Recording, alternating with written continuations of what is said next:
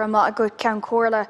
Taoiseach, almost eight months ago now, during Leaders' Questions, I raised with you the concerns and the number of specific and critical threats facing the agricultural merchant sector. This is a sector that employs over 10,000 people across rural Ireland, in many villages and towns where there is little or no employment opportunities. We're fortunate enough to have these agricultural merchants. And I want to point out that in my own constituency of Offaly, we have many agricultural merchants. So they provide uh, an important source of employment for many people. We're fortunate to have agricultural merchants such as John Grennan and Sons in Kilcormac and Rath.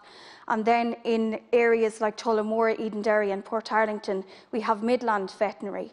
Now, these are towns that are hit badly with unemployment levels and have been for decades. So it's very important that our agricultural merchant sector is protected and that we do everything possible. But unfortunately, there are a number of threats posed to the agricultural merchant sector. And the threats relate to an EU requirement that will come into force in January, whereby all veterinary medicinal products, including antiparasitics, will be subject to a veterinary prescription, as well as the likelihood that an EU directive which allowed for the exemption and maintenance of non-prescription status on some products will be scrapped. You personally stated at the time I raised it eight months ago that you did not want a situation to develop whereby people are rendered unemployed as a result of the application of this EU directive. Unfortunately, Taoiseach, we are now eight months on from those commitments and the likelihood of job losses, unfortunately, has gathered momentum. Agri merchants have engaged throughout the process constructively and in good faith in a multi-sector forum. And they are increasingly of the view that the entire consultation process was never going to do anything but deliver a predetermined departmental outcome. This is despite the fact that the veterinary director of the HPRA has clearly, clearly, stated already that when it comes to the prescribing of antiparasitics, the agri merchants are, and I quote, not the root of the problem and that the licensed merchants have made and continue to make a valuable contribution in this area. The Minister and the Department of Agriculture have made it clear, however, that they have no intention of changing their interpretation of the regulations for prescribing antiparasitic medicine. This is despite widespread condemnation from farmers, farming organisations, horse owners, pharmacists, licensed merchants, cooperatives, MEPs and the Joint Committee on Agriculture. The new regime, if allowed to be brought in, will effectively eliminate the category of responsible person from prescribing these medicines. Thank this you, is completely unjustified. And Taoiseach, I just want to ask you, like, what are you going to do? This is going to have a serious impact on Thank employment, much, but also on 140,000 beef and sheep farmers who will be disproportionately impacted. Thank you. Taoiseach, please.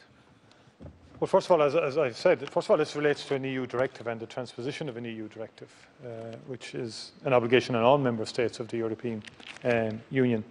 Um, and it does, as you know, a stakeholders group has been established uh, and the minister is engaging with that group with a view um, to dealing with the issue of antiparasitic resistance, um, antimicrobial uh, resistance, uh, to whilst at the same time maintaining competition within the market uh, and keeping costs down um, for all um, concerned.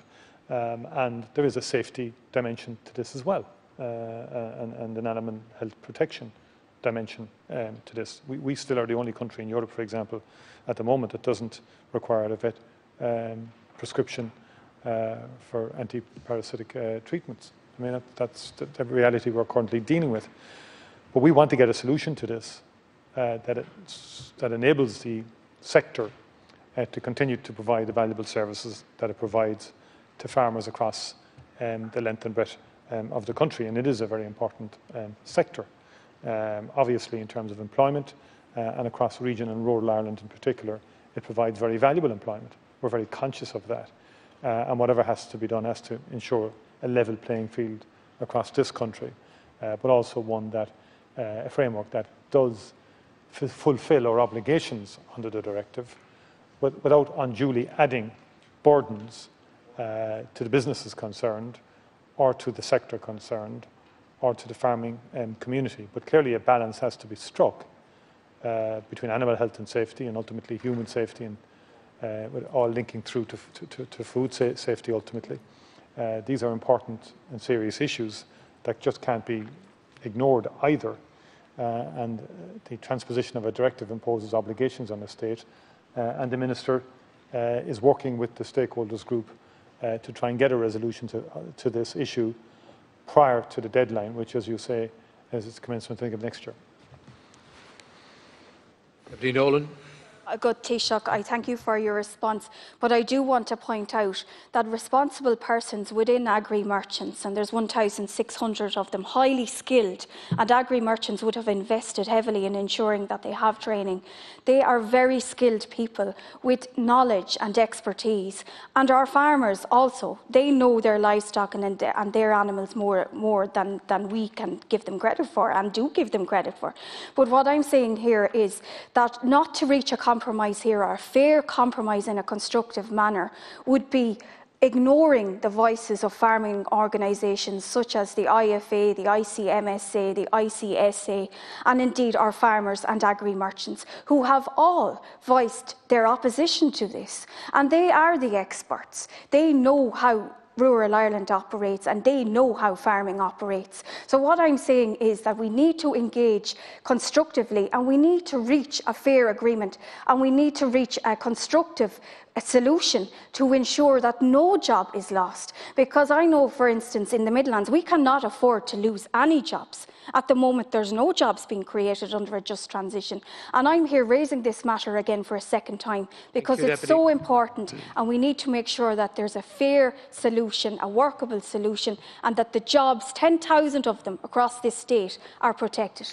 Thank you very much, Deputy Nolan. Well, as I said, the Minister is absolutely committed to reaching a constructive resolution of this issue and a fair resolution uh, of this issue that obviously uh, intends to try and maintain employment, obviously within the sector, but also ensuring that we can fulfil our obligations uh, and to keep costs down uh, for all concerned, particularly uh, those in farming in particular who avail of, um, of, of, of such services. We, we understand that fully, we understand the issues, and we're committed to doing that.